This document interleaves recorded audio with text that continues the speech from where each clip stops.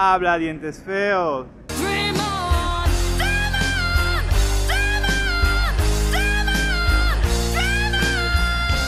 Menciona BN Periodismo y tengo un 20% de descuento en Dental House. Está ubicado en el subsuelo del CCNU. Amigos y amigas, chats, filtraciones y videos. Soy el fuego que arde tu piel, soy el agua que mata tu sed, el castillo, la torre, yo soy. La espada que guarda el caudal, tú el aire que respiro yo. Y la luz de la luna garganta que ansio mojar, que temo ahogar de amor. Hace pocos días la Fiscalía General del Estado hizo públicos algunos chats y transcripciones que se relacionan con el caso Encuentro, el cual involucra a Rubén Cherres, empresario asesinado, a Danilo Carrera, cuñado del expresidente Guillermo Lazo, y a la mafia albanesa. ¡Lo dijo! ¡Lo dijo! Pero justo, justo, justo mientras esto pasaba, también se daba una telenovela digna de Coavisa, protagonizada por la fiscal Diana Salazar y el exasambleísta Ronnie Aliaga. Ay, el amor. La fiscal Salazar dio la orden de liberar los chats y transcripciones del caso Encuentro, pero a la par, el ex asambleísta y prófugo de la justicia por el caso Metástasis, Ronnie Aliaga, también afirmaba tener conversaciones con la fiscal Diana Salazar, y según Aliaga, él tuvo hasta una relación sentimental con Salazar. Así es la desesperación, en este caso suya. No tiene límites. Pero las pruebas de nuestras conversaciones están periciadas y seguirán demostrando la corrupción de la fiscal general del Estado en la forma de manejar las investigaciones. Una de ellas, León de Troya. Lo que tú sientes se llama obsesión. ¿La revolución ciudadana no sabía de esto? Aparentemente prefieren hacerse los locos, pero sí comentaron la desvinculación de Ronnie Aliaga del movimiento correísta. Necesito hacerte el amor. Recordemos que Aliaga está involucrado en el caso Metástasis y fue nombrado por Elibe Angulo, abogado del narcotraficante asesinado Leandro Norero, esta semana. Y esto podría confirmar que Aliaga es alias el ruso. se comunicaban con el señor eh, Ronnie Aliaga, alias el ruso, toda vez que había como una línea de seguimiento de cada movimiento. Mientes, mientes. Pero dejando a un lado la telenovela, ¿qué dice el contenido liberado por Fiscalía sobre el caso Encuentro? Yo sí sé.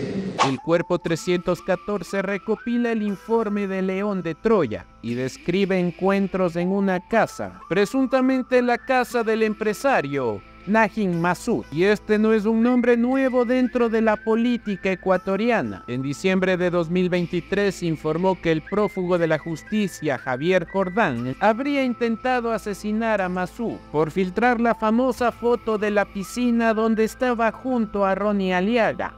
La foto salió a la luz el 28 de mayo. Dos días después, Jordán se quejó con Norero Los medios me están sacando la... por la publicación de la foto y de inmediato acusó a Masud de ser quien la filtró. Masú, ese sapo HP está metido en esto. Norero en respuesta le pidió datos y le ofrece, Yo lo callo ese HP. a lo que Jordán le da los nombres de Zurita y Villavicencio y le dice, Ese par son íntimos de Masú. Por otro lado tenemos el cuerpo 318 y aquí tenemos varios chats de Rubén Cherres, identificado como HD Petrolero. Por ejemplo, esta sería una conversación de Cherres con el usuario Rafael G. Yo quisiera que preguntes si está dispuesto a hacerlo. No, hay cosas ahí muy grandes hermano, que el man puede liderar eso y salir hijo de putas hermano. Perfecto. Porque le está ayudando al duro. Ya. El duro. Incluso Cherres decía que hay chance de poner gente en las aduanas y que podía reunirse con Danilo. ¿Cuál Danilo? Ayer posesionaron a un íntimo amigo, de un amigo super pana mío en las aduanas. Segundo en las aduanas. Tenemos allí todo. Entonces, le voy a hacer reunir con el Danilo y le voy a decir, ¿sabe qué Danilo? Reúnete con este man, porque a él le voy a pedir un puesto para mi hermano y un puesto para el pato. Recordemos que Rubén Cherres era amigo de Danilo Carrera, cuñado del expresidente Lazo, y fue asesinado el 31 de marzo de 2023. Las conversaciones demostrarían que la amistad entre Cherres y Carrera era muy fuerte, tanto que hablaban de hacerle un favor a un tal Víctor Arauz. Bueno, si son los hackers, no se estén robando este video, no, tú estás en el favor. Esto dice el cuerpo 323 que filtró la fiscalía. ¿Cuál dices? El general amigo que fue a hablar contigo a tu casa, Víctor. Vic. Víctor Arauz. Todo esto podría cuadrar porque el general en servicio pasivo Víctor Arauz confirmó el 14 de febrero de 2023 que sí se reunió con estos dos muchachos. Esa reunión habría sido en 2021 junto con César Monge, entonces ministro de Lazo, quien le habría recomendado reunirse con Danilo Carrera por su problema en el ascenso y con Tanya Varela. César Monge me dice quien te puede ayudar es Danilo, porque él tiene una injerencia familiar y muy, y muy fuerte con, con, con Guillermo. Es absolutamente correcto. Y es en esta misma filtración donde Cherres conversa con un usuario identificado como Amor y hablan abiertamente del reparto en las aduanas. ¿Y qué le van a dar al gordo? Al gordo no sé, pero le negaron eso. Lo que te quiero decir es que no hables mucho. Porque yo quiero que lo de la aduana se vaya para Alancito. Pero si el gordo no está. Eso lo conseguí yo, prácticamente. Con Danilo, el día miércoles, tenemos la comida con el gobernador. Óyeme bien, y tenemos la comida con el almirante Vallejo que es el segundo en jefe de las operaciones del puerto. Necesito hacerte el amor. A mí me encanta vivir del chisme, me dicen la metiche. Y se vienen cosas más densas. En el cuerpo 331 se transcriben grabaciones de una cámara de seguridad de la casa de Najin Masú, en donde hablan de un secuestro. Y con Cortázar iba a verlo a Antonio y Casa. Que lo mandan a secuestrar con los albaneses. Broter, esto es serio, Cortázar estaba metido con él. Wow, wow, wow, wow, wow, wow, wow. Esta conversación se refiere al secuestro que vivió ese funcionario en 2022 y en resumen supuestamente fue la mafia albanesa. En el cuerpo 332 se habla de un presunto financiamiento para el entonces asambleísta Fernando Villavicencio. Y con Villavicencio siguen bien. Sí, me llevo bien. Ayer lo llamé. Entonces, me dijo que estoy ocupado. No puedo evitar. Pero ¿cómo es el socio? ¿Cómo que no pasa nada? Claro, que sigues con buena relación con el man. Sí, lo he ayudado, lo he comprado y me ayudó en campaña. 70 lucas, y yo le conseguí. Esta es la transcripción de una de las conversaciones que se habrían dado en la casa de Masú antes del asesinato del ex candidato a la presidencia Fernando Villavicencio. Y en medio de estas grabaciones aparece un nombre conocido, el del periodista Anderson Boscan, quien reveló la trama de corrupción en el caso El Gran Padrino, y a él se refieren como el Gran Sapo. ¿Te gusta pagar derechos? Por eso estoy asustado todavía nuestra investigación del Gran Padrino, pero no es una historia inventada, es un reportaje basado en testimonios, documentos y muchas. ¿Qué testimonio? Un solo hijo de puta fue a cantar como perico. Si el gran operador, el gran vivo, el gran sapo. El gran bocón. Ya se le acabó a ese man la historia de trabajar con los dos, si sabes. ¿Quién va a querer trabajar con él? ¿Quién va a querer trabajar ahí? Nadie. Con miedo de que digan y puta a este man le debemos una. Va a comenzar a abrir la boca. Si se la hizo a Danilo Carrera, se la puede hacer a cualquiera.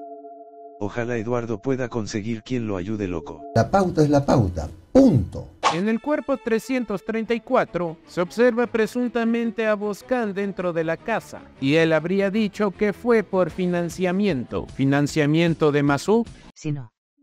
Es terrible este hombre. ¿Para qué lo vienen a visitar si no para bola? Yo no vengo a visitarte, vengo a ver mi financiamiento. ¡Ay, qué gracioso! Es muy real. Y es aquí donde se revela algo que podría ser mucho más crítico, porque quien sería identificado como Anderson Boscan afirma la existencia de un presunto video donde aparece Danilo Carrera con una menor de edad. Y digo, tú tienes un video de Danilo íntimo pero, puta, o sea hay esos videos. O sea, mi equipo está tratando de conseguirlos porque ha hecho. Que dice que no, pero se ve, se ve. Digo, no sé loco, la historia es esta, le digo. Al parecer es una menor de edad y el video, o sea, quieres publicarlo. O sea loco, yo chucha, esa huevada es de vida o muerte. No es la primera vez que se acusa a este personaje de abuso de menores. Por ejemplo, las acusaciones realizadas por José Serrano, ex ministro del Interior. Danilo Carrera, este señor presidente de la Federación Ecuatoriana de Tenis, eh, terrible todo lo, todo lo que se podrá denunciar después, eh, ¿no es cierto?, eh, teniendo, teniendo encuentros con, con, con, niñas menores de edad, este, Danilo Carrera, etcétera. Definitivamente esto tiene que acabarse, pero con este gobierno que mandó a ¿Está esconder... acusando de pedofilia, doctor Serrano? ¿Lo está acusando de pedofilia? Sí, definitivamente, Danilo definitivamente. Aquí yo no me voy a, yo aquí yo no me voy a, yo no me voy a guardar absolutamente nada. Esa huevada es de vida o muerte. En resumen, podemos dividir estos cuerpos en diferentes partes. Una que graficaría el tráfico de influencias dentro del gobierno de Guillermo Lazo a través de Rubén Cherres y Danilo Carrera. Otra parte que trataría sobre la injerencia del periodismo en medio de las investigaciones. Y una tercera parte que habla del poder político y económico dentro de delitos execrables como el abuso de menores. Desde BN Periodismo nos resta decir que el caso Encuentro involucra algunos elementos. Corrupción en el sector público, narcotráfico, tráfico de influencias, prensa e investigaciones a la carta y una posible jugada de la fiscal Diana Salazar. ¿Por qué se esperó a que Lazo deje el poder para revelar todo esto? Tenemos los chats, pero no tenemos a los detenidos. Show mediático o una real intención de buscar justicia. Dejen sus opiniones en los comentarios.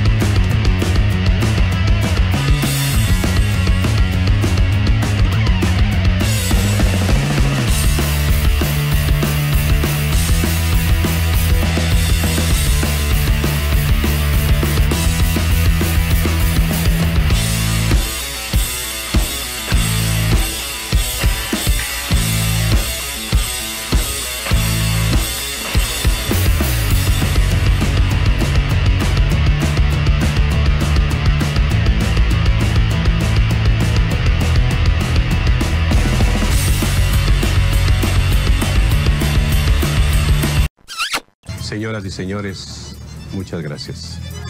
Que te lleve el diablo.